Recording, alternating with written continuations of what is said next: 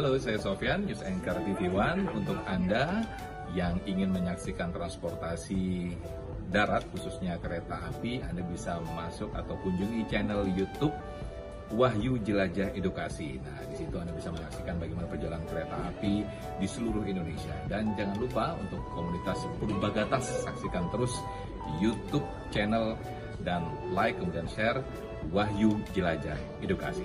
Selamat.